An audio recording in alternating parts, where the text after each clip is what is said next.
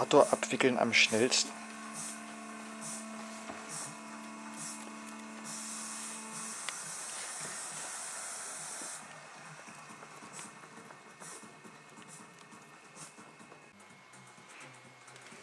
Nun kommt der große Lüfter-Vergleichstest. Wir haben jetzt drei identische, also vom Kern her, drei identische Typen da. Eins, zwei, drei. Aber jeder von denen hat eine unterschiedliche Wicklung bekommen. Ne? Das hier ist der erste Kandidat.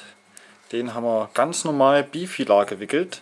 1 zu 1, also alle zwei Drähte ne, parallel genommen und über alle vier Statoren rechts rum, links rum, rechts rum, links rum gewickelt. Mit 0,23er Draht und da sind wir dann auf ah, ja, bei 66 Windungen. Ne? 66 Windungen jetzt hier auf dem Stator drauf. Ja, der zweite, den haben wir dann trifilar gewickelt. Trifilar und verzwirlt. Ne? Hier könnt ihr sehen, sind drei Drähte miteinander nochmal verzwirrt und da auch rechts rum, links rum, rechts rum, links rum. Ja, dadurch, dass jetzt hier drei Drähte sind, kriegt man da natürlich keine 66 Windungen mehr drauf. Hier haben wir dann nur 44 Windungen drauf gemacht und haben dann zwei von denen Drähten hier in Reihe genommen und als Trigger genommen und konnten die dann so laufen lassen. Ja, vom ja, von der Drahtmasse her, vom, von, von der äh, Grammzahl her, dürfte das jetzt aber theoretisch genau dasselbe sein wie hier. Ja, das wollten wir ja wissen. Ja, wir haben ein und dieselbe Menge Kupfer und welche Wicklung muss man da drauf machen? Welche ist die effektivste? Tja, und hier beim dritten, da haben wir es einzeln gemacht. Ja, also da haben wir einen Draht genommen, haben 132 Mal in die Richtung gewickelt. Ne? Tja, und ach nee, dann sind wir, ja, die zwei hängen miteinander zusammen und die zwei hängen miteinander zusammen. Ne? Wir haben es Brain Train Wicklung genannt. Das ist bei uns die Brain Train Wicklung. Ne? Die zwei sind dann Trigger in Reihe und die zwei in Reihe sind dann die Power Spule. Das ist der dritte Kandidat. Ja, dürfte auch von der Grammzahl her genauso viel drin sein wie bei den anderen vom Kupfer her. Und da kamen wir dann auf 132 Windungen pro Stator. Ja, hier ist nochmal die Ohmzahlen. Ne? 3,3 Ohm, ne 1,73 Ohm hat es dann. Ne? Ein einzelner, ne? zwei in Reihe zusammengeschalten haben dann hier 3,3 Ohm. Hier sind wir bei 2,44 Ohm beim Trifilaren bei einer einzelnen Wicklung und ne, die zwei in Reihe geschalteten für den Trigger bei 4,7 Ohm und hier oben bei dem normalen bifilaren 1 zu 1 gewickelten, normal gewickelten, sind wir bei 3,03 Ohm. Alles mit 0,23er Draht gewickelt, ne? habe ich ja vorhin schon mal gesagt. Hier steht es, 0,23er Draht. So, das war jetzt der, die Basis dafür gewesen. Ne? Alle sind mit ein und derselben Bedini Meißen-Oszillatorsteuerung angesteuert worden. Ne? Wir nennen da auch Flux-Terminal, nennen wir es jetzt. Ne? Alles bekommt neue Bezeichnungen, je nachdem, wie wir Lust und Laune haben.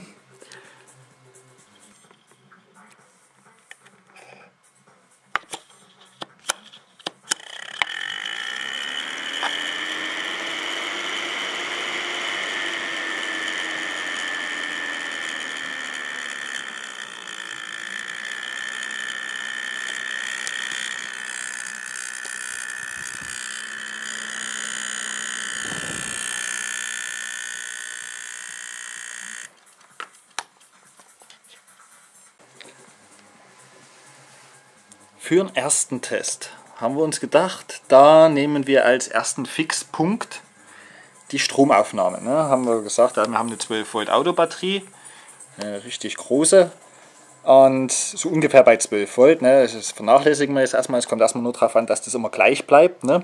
So, und dann haben wir unseren Bedini-Motor so eingeregelt, dass sie auf 400 Milliampere kommt. Moment, ich kann es ja mal kurz machen. Sich andrehen, das Teil. Jetzt, jetzt läuft er. So. Jetzt zieht er hier schon. Ja, jetzt ist er hier schon.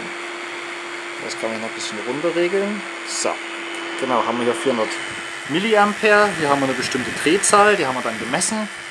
Und hier steigt jetzt unser Einfachrad 12 Volt Kondensator. Ja, die Zeit haben wir dann ne, ganz einfach gemessen. Mit der Stoppuhr. Ja, bei 6 Volt haben wir dann immer angefangen. Ne? Wenn er die 6 Volt Grenze hier überschritten hat, haben wir Start gedrückt und wenn er 12 Volt erreicht hat, haben wir auf Stopp gedrückt. Ja, so sind wir zu unseren Zeiten gekommen.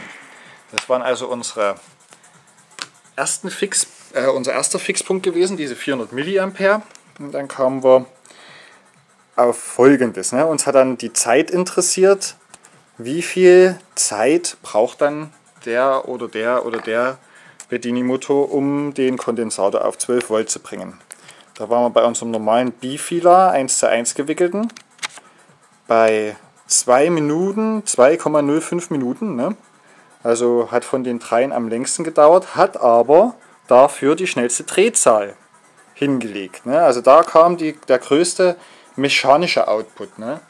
Sind ja trotzdem Lüfterflügel dran ne? und ja, je schneller das da wird, desto mehr Kraft braucht er. Ne? Ja, da war er hier bei sagenhaften 3300 Umdrehungen äh, äh, pro Minute. ja. Bei der Trifilar-Wicklung, die hat am schnellsten unseren 12 Volt Kondensator vollgehauen, ne, bei einer Stromaufnahme von 400 mA, hat aber die langsamste Drehzahl gehabt von der mechanischen, vom mechanischen Output mit 2639. Ja, und die Brain-Train-Wicklung, die einzelne Wicklung, die lag so ein bisschen zwischendrin, ne? so ein Zwischending, 2905 Umdrehungen und ähm, 1 Minute und 53 Sekunden, um den Conti auf 12 Volt zu laden. Ja, äh, für Dokumentationszwecke habe ich hier hinten nochmal die Potty-Einstellung eingestellt, ne, wie viel Ohm das, der Vorwiderstand, also der, der Widerstand im Potty gehabt hat. Ja, es ist aber gar nicht so wichtig, wen es interessiert. Ja, hier steht es halt, halt, äh, halt mal mit dort. Ja.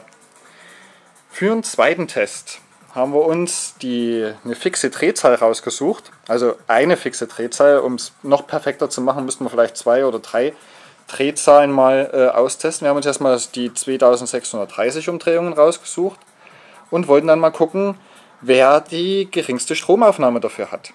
Tja, da war der Spitzenreiter der Bifilar 1 zu 1 gewickelte Bedini mit 260 mA Stromaufnahme. Ja, der Trifilar hat am meisten Strom gefressen ne, mit 400 mA und der einzelne war wieder so zwischendrin gewesen. Ja, hier habe ich dann auch aufgehört, die Widerstände aufzuschreiben, habe ich vergessen, aber wie gesagt, ist nicht ganz so wild, ist nicht ganz so wichtig. Der hier, den habe ich mal noch mit hingeschrieben. Wen es interessiert, da kann der ja selbst mal ein bisschen gucken. Tja, also, was kann man als Fazit sagen? Wenn man richtig Wert auf mechanischen Output legen will, dann würde ich sagen, die Bifilar 1 zu 1 Wicklung nehmen. Wer aber richtige, ähm, richtige Ausspangs, äh, Ausgangspulse haben möchte, ne, damit Batterien laden will oder irgend sowas, der ist mit dieser Trifilar-Anordnung wahrscheinlich gut bedient. Tja, so sind hier momentan erstmal die Testergebnisse.